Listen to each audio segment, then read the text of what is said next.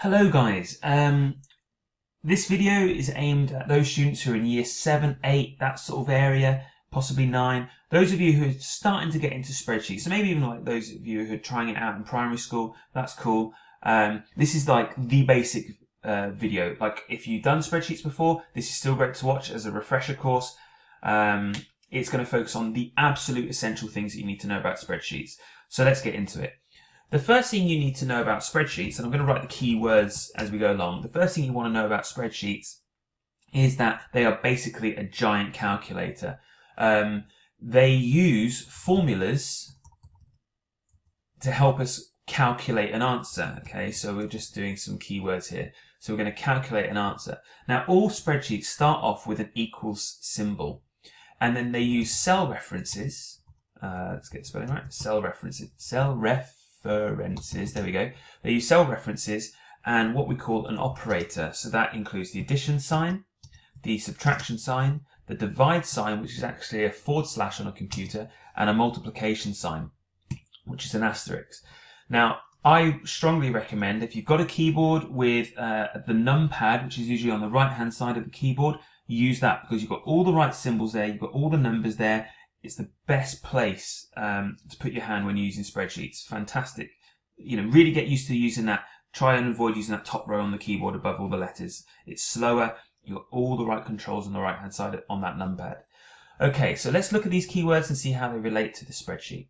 So the first thing we're going to do, we've got here a, a spreadsheet which contains some test scores for uh, five students. We've got Anthony, Beth, Charlie, Deb, and Ethan. Now, uh, I want to add up basically the scores that each student got. Now I could do this manually and type it in. So I could say, right, uh, Anthony has got 10 plus 9, which is 19, plus 11, which is 30. I could type that in.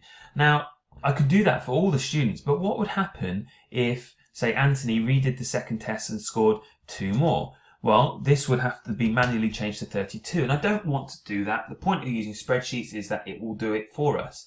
So let's see what actually happens. Let's reset that back and then take a look. So all formulas start off with an equals symbol. Remember the keywords? We've got equals. I'm going to select the first cell reference with the first score in, which is B2. I'm then going to use an operator. In this case, I want to add up the numbers, so I'm going to use the addition symbol, and then add up each score using the correct cell reference. When I'm done, I press enter. Remember that score of 30? Remember Anthony retook the test and scored 11? Well, if I type in 11 now, the score changes to 32. Fantastic, it's done the work for us. That's what spreadsheets are about. Let's take a look at that again. Equals the first cell reference plus the next cell reference plus the next cell reference. Press enter when done. There we go, we've got 30. Let's do it one more time. Equals the first cell reference plus the next cell reference plus the next cell reference. Okay, 21. Right, let's take a look at that. We've got if you look at these formulas up here, we've got B2, C2, D2, B3, C3, D3, B4, C4, D4. They go up in order. If I highlight those things and then drag down using this little symbol here, you'll notice that my mouse changes to a thinner cross. When it does that, I can drag it down and it automatically changes the reference for me. So now I've got from B4, C4, D4, D, uh, B5, C5, D5, B6, C6, D6. It's done it for me. All right, now let's add up the totals for the whole of test one. Okay, equals the first cell reference plus the next cell reference plus the next cell reference plus the next cell reference plus the next one. Press enter. There we go, we've got 41. Do that one more time, and then we'll try the shortcut. The first cell reference, the next cell reference, followed by the next one, the next one, and the next one. Okay, let's do the shortcut. Let's drag it across it's worked beautifully for me. Now let's take a look at the average. Averages are worked out by adding up the total and then dividing by the number of, uh, well in this case it's the students, so we've got five. So I'm going to do the first way, which is the slow way, equals the first score plus the next score plus the next score plus the next score plus the next score. Close my brackets because I want to work that bit out first. Think of maths and BODMAS. Divided by 5. Okay. Now, I had to do a very long formula. But the nice thing about this is I could drag it across and it works it out for me. Brilliant.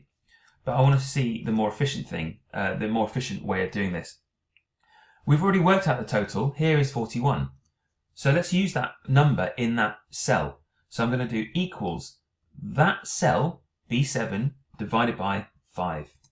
It's giving me exactly the same answer. Let's take that. Take a look at that again. Equals that cell, in this case it's C7, the total, divided by 5. Okay, once I've done that, I can just drag it across. And we're good to go. One last thing I'm going to show you. Highlight the data, use these tools up here, increase decimal, decrease decimal. If I want to decrease decimal, it removes a decimal and it rounds up. If I want to increase the number of decimals, use the increase decimals. Uh, I'm quite happy with one decimal place, so I'm just going to use decrease again and leave it as one decimal place. So to summarize, we have a spreadsheet. Spreadsheets are like giant calculators. They use formulas to help us calculate the answer. All uh, formulas start off with an equals. They use cell references, and then you can use an operator such as addition, subtraction, the forward slash for divide, and you've got the asterisk for multiplication. Remember to use the numbers by the numpad as it is the best place to put your hand when using spreadsheets. It's the most efficient. In the next video, we're going to start looking at advanced formulas. I'm going to show you how you can use some of the advanced tools to help you calculate your answers even faster than we did just now. See you in a bit.